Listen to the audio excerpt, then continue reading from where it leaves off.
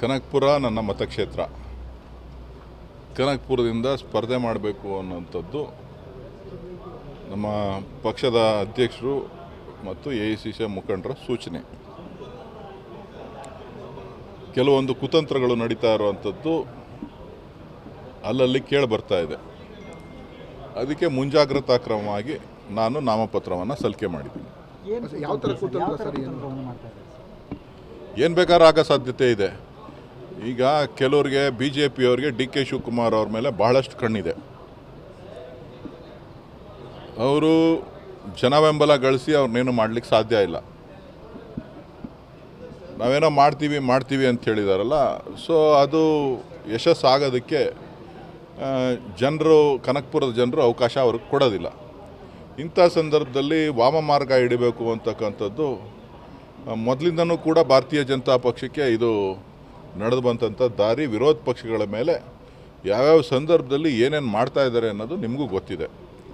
ಆ ಒಂದು ನಿಟ್ಟಿನಲ್ಲಿ ಇವತ್ತು ಮುಂಜಾಗ್ರತೆಯಾಗಿ ನಾಮಪತ್ರವನ್ನು ನಾನು ಸಲ್ಲಿಸಿದ್ದೀನಿ. ಸರ್ ಹಿಂದೆಲ್ಲ ಡಿ ಕೆ ಶಿವಕುಮಾರ್ ಹೇಳ್ತಾ ಇದ್ರು, ಬಂಧನ ಮಾಡ್ತಾರೆ, ನನ್ನನ್ನು ಮತ್ತೆ ಬೇಕಾದ್ರೆ ಜೈಲಿಗೆ ಕಳಿಸ್ತಾರೆ, ಅಷ್ಟೆಲ್ಲ ಮಾಡ್ತಾರೆ ಬೇಕಾದ್ರೆ ಬಿ ಜೆ ಪಿ ಅವರು ಅನ್ನೋಂಥದ್ದು ಅದು ಬಂಧನ ನೋಟಿಸು ಕೇಸು ತಾವೇ ನೋಡ್ತಾ ಇದ್ದೀರಿ. ಪ್ರತಿನಿತ್ಯ ಕೋರ್ಟ್ಗಳಲ್ಲಿ ನ್ಯಾಯಾಲಯಗಳಲ್ಲಿ ಕೇಸ್ಗಳು ಬರ್ತಾ ಇದೆ. ಮೊನ್ನೆ ಕೂಡ ನಮಗೆ ಇನ್ಕಮ್ ಟ್ಯಾಕ್ಸಿಂದ ನೋಟಿಸಸ್ಸು ಚೆನ್ನೈಯಿಂದ ಬಂದಿತ್ತು. ನೀವೇ ಖುದ್ದು ಬರಬೇಕು ಅಂಥೇಳಿ ಈಗ ದಿನಗಳ ಕೆಳಗೆ ಸರ್? ಯಾವಾಗ? ಸಲ್ಲಿಸಿದ ಮೇಲೆ ಸರ್ ನಾಲ್ಕು ದಿನದ ಹಿಂದೆ ನಾಲ್ಕೈದು ದಿನದ ಹಿಂದೆ. ಹಿಂದೆ.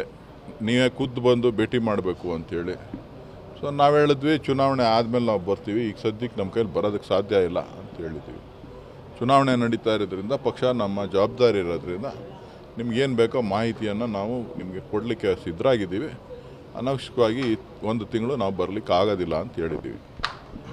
ಸೊ ಇವತ್ತು ಎಲ್ಲ ಹಂತಗಳಲ್ಲೂ ಕೋರ್ಟ್ನಲ್ಲೂ ಕೂಡ ಹೈಕೋರ್ಟಲ್ಲಿರ್ಬೋದು ಸುಪ್ರೀಂ ಕೋರ್ಟ್ಗಳಲ್ಲಿರ್ಬೋದು ನ್ಯಾಯಾಲಯದ ತಡೆಯಾಜ್ಞೆಗಳು ಇದೆ. ಎಲ್ಲ ಕೇಸ್ಗಳ ಮೇಲೆ ತಡೆಯಾಜ್ಞೆ ಇದೆ. ನೆನೆನೂ ಕೂಡ ತಡೆಯಾಜ್ಞೆಯನ್ನು ವಿಸ್ತರಣೆ ಮಾಡಿದ್ದಾರೆ. ಸೊ ಯಾವ ಸಂದರ್ಭದಲ್ಲಿ ಏನು ಮಾಡ್ತಾರೆ ಅಂತ ಗೊತ್ತಿಲ್ಲ. ಅಧಿಕಾರ ಇರುವಂಥ ಸಂದರ್ಭದಲ್ಲಿ ಅಧಿಕಾರಿಗಳನ್ನ ಬಳಸ್ಕೊಂಡು ಅಧಿಕಾರ ದುರುಪಯೋಗ ಮಾಡಿಕೊಂಡು ವಿರೋಧ ಪಕ್ಷವನ್ನು ಡಿ ಕೆ ಶಿವಕುಮಾರ್ ಅವ್ರನ್ನ ಟಾರ್ಗೆಟ್ ಮಾಡಿರೋಂಥದ್ದು ಸತ್ಯವಾದ ಮಾತು. ಯಾಕೆ ಟಾರ್ಗೆಟ್ ಮಾಡಿರುವಂತದ್ದು ನಿಮಗೆ ನಿಮಗೆ ಗೊತ್ತಲ್ಲ ಯಾರನ್ನ ಈಗ ಸ್ವಲ್ಪ ತಿಂಗಳಿಲಿ ಈಗ ಬೆಂಗಳೂರಿಂದ ಯಾರನ್ನೋ ಒಬ್ಬರನ್ನ ಈ ಕ್ಷೇತ್ರಕ್ಕೆ ಸಂಬಂಧ ಇಲ್ಲದವ್ರನ್ನ ಕರ್ಕೊಬಂದು ದೆಹಲಿ ಪ್ರೆಸ್ ಕಾನ್ಫರೆನ್ಸ್ನಲ್ಲೇ ಅವ್ರು ಹೇಳಿದ್ದಾರೆ. ನಾವು ಡಿ ಕೆ ಶಿವಕುಮಾರ್ ಅವ್ರಿಗೆ ಟಕ್ಕರ್ ಕೊಡ್ತೀವಿ ಅಂತ.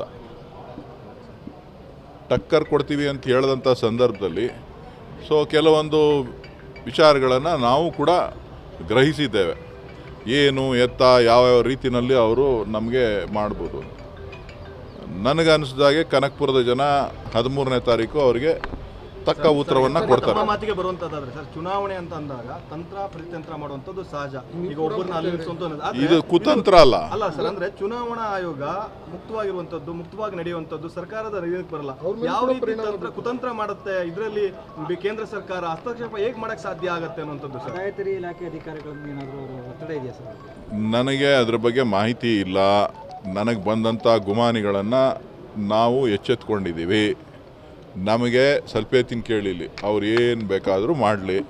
ನಾವು ಯಾರಿಗೂ ಆಗ ಪ್ರಶ್ನೆ ಇಲ್ಲಿ ಬರೋದಿಲ್ಲ. ಅವರು ಅವತ್ತು ಕುತಂತ್ರ ಮಾಡಿರುವಂತದ್ದು ಡಿ ಕೆ ಶಿವಕುಮಾರ್ ಅವರು ಸ್ಪರ್ಧೆ ಮಾಡದ ರೀತಿಯಲ್ಲಿ ಕುತಂತ್ರ ಮಾಡಿದ್ದಾರೆ ಅಥವಾ ಹೇಗೆ? ನಮ್ಗೆ ಅನುಮಾನಗಳಿದೆ. ನನಗೆ ಆ ತರದ ಸಾಧ್ಯತೆಗಳು ಬಹಳ ವಿರಳ.